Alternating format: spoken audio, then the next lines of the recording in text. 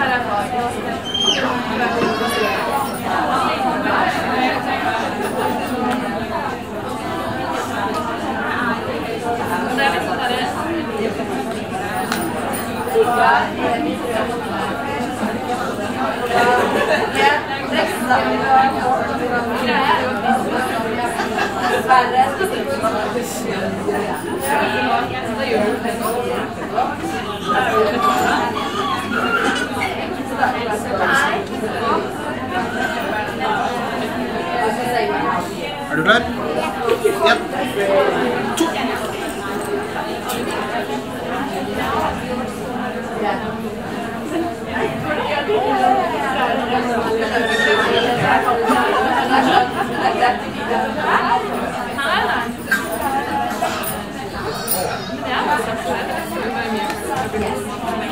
Du, kan du få armene opp, Sara? Du er for lang i ryggen fra armene ned nå. Og det var mye bedre.